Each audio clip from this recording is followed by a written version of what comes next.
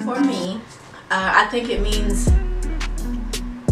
loving myself as I am without making comparisons to other people. I think that I have spent a lot of time measuring my growth or my success or making my whatever in relation to somebody else.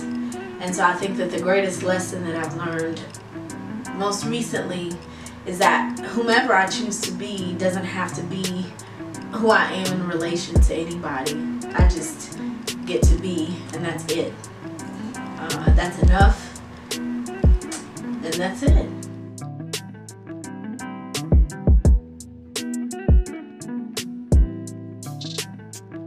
I would tell her, you're good. Uh, no matter what the day looks like, no matter how you performed, um, no matter how disastrous it might feel in the moment, you're good and it's okay. And you've got breath in your lungs and you know how to love and you know how to recognize when you are loved and when you are not. And you are free to honor that. You don't owe anybody anything. Um, and the most important thing is for you to to be you, and that's absolutely enough.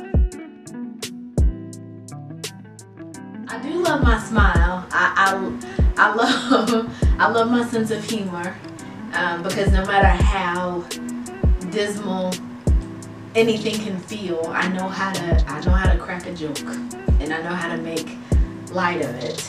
Um, I don't want to do so inappropriately, um, but I always manage to find myself back to a smile, and so I want to always be able to do that.